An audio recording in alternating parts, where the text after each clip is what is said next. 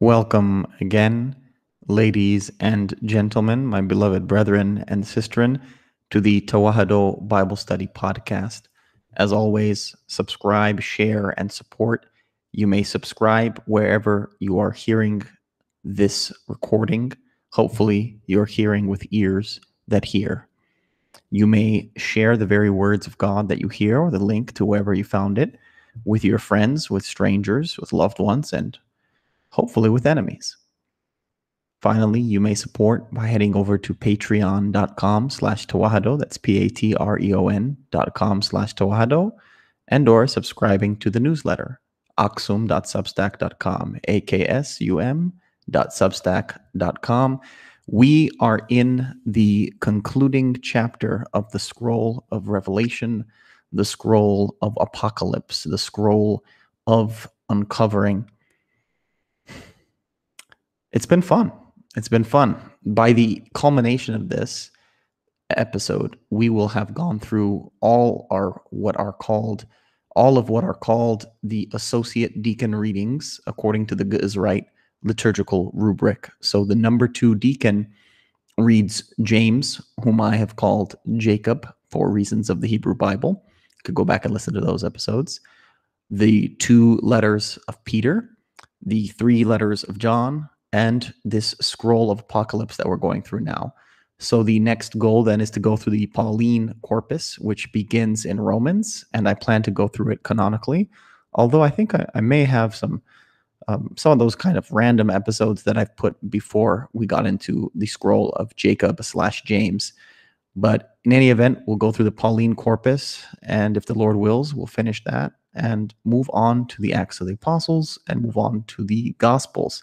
If we still have time, then we'll hit the Hebrew Bible until the Lord comes again. And the coming of the Lord is something that is always on the minds, that is to say, the hearts of the prophets. It's always on my mind or my heart as well. And it is a major motif of this chapter, which we'll get into.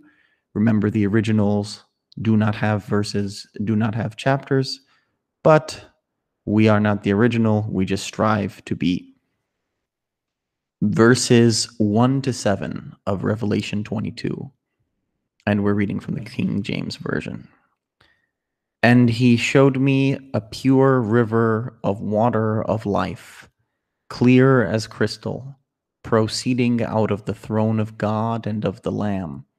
In the midst of the street of it, and on either side of the river, was there the tree of life, which bare twelve manner of fruits and yielded her fruit every month, and the leaves of the tree were for the healing of the nations.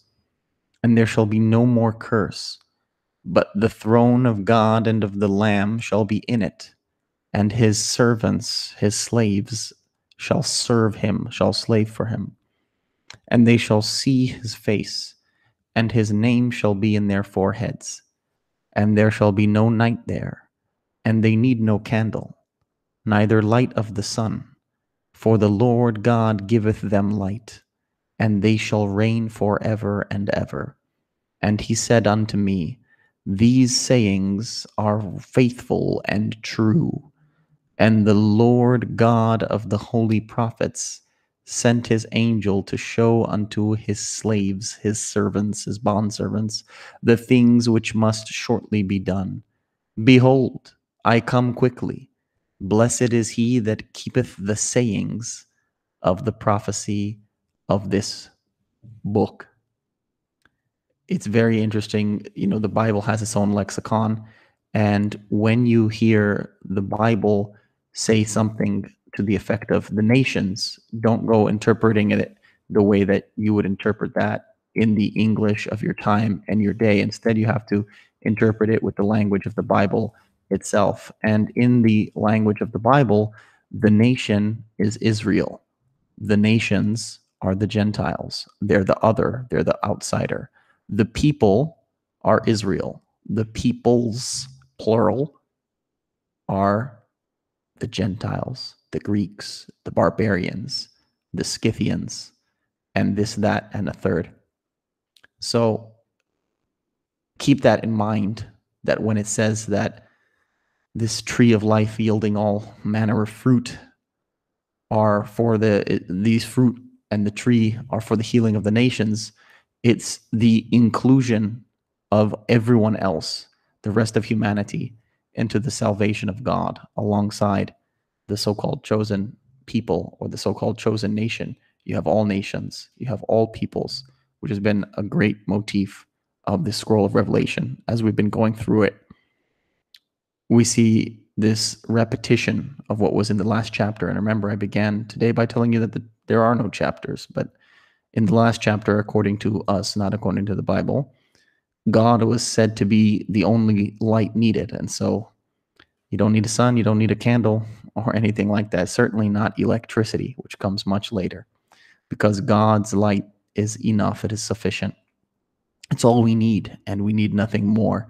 There will be no more accursed people we'll see when we get into Galatians, and we see it all over the place. But curses are a big part of the Hebrew Bible or the Old Testament. And here, it's no more time for cursing at the end. It's just the blessed presence of God, and you get to drink from the river of the water of life. And here in the KJV, it says sayings, but when you go pull out a Mounce's interlinear text or look at the original Greek, the word is logos, and the logos is the word. So these are words and if you keep his words, which are his instructions, his commandments, his statutes, what we see in Psalm 118 slash 119, depending on your version of the Psalms, if you keep these words, you will be blessed. And he's coming soon, but that's TBD. It's to be determined. It's not for you to know when he's coming, only that he's coming and that he's coming quickly. Well, what is quickly to God? Well, if a year is different on Mercury than it is on Mars, on Earth than it is on Jupiter or Saturn or Pluto for that matter, what is a year to God? What is a day to God? What is slowness? What is quickness to God? These are questions you have to ask yourself, but don't dwell on them too much, or you'll get stuck into medieval scholasticism and start telling me, Deacon Henok, this is how many angels, I finally calculated, this is how many angels could dance on the tip of a nail. Verses 8 to 21. And I, John, saw these things and heard them. And when I had heard and seen, I fell down to worship before the feet of the angel which showed me these things. Then saith he unto me, See thou do it not. For I am thy fellow servant, thy fellow slave, thy fellow bond servant, and of thy brethren the prophets, and of them which keep the sayings, the words, the logos of this book. Worship God. And he saith unto me, Seal not the words of the prophecy of this book, seal not the sayings of the prophecy of this scroll, for the time is at hand. He that is unjust, let him be unjust still. And he which is filthy, let him be filthy still. And he that is righteous, let him be righteous still. And he that is holy, let him be holy still. And behold, I come quickly, and my reward is with me, to give every man according as his work shall be. I am Alpha and Omega the beginning and the end, the first and the last.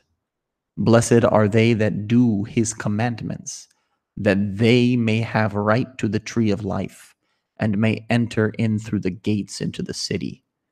For without are dogs and sorcerers and whoremongers and murderers and idolaters and whosoever loveth and maketh a lie.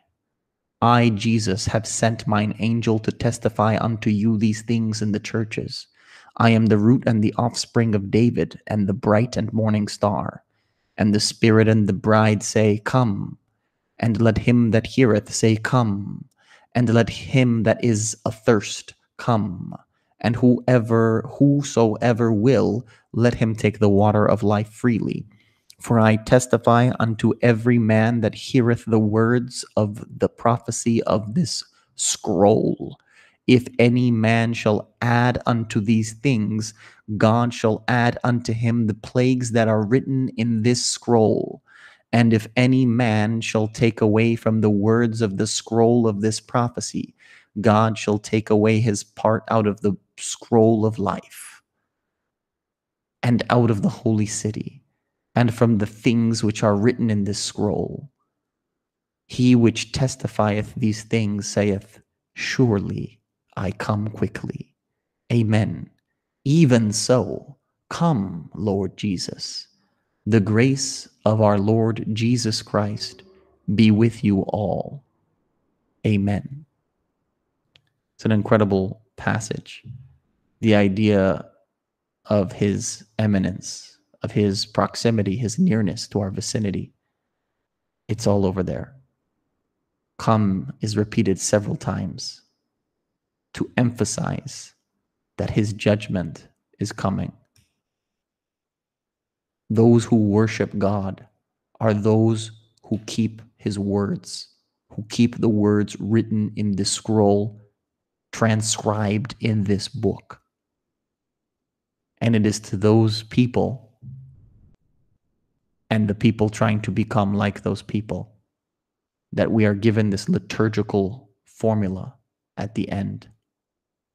The charis, the unfettered gift, the grace of our Lord Jesus Christ, which I wish is with all of those of you, especially those of you who heard the entire scroll of Revelation, and especially those of you who go further to keep the words of the apocalypse.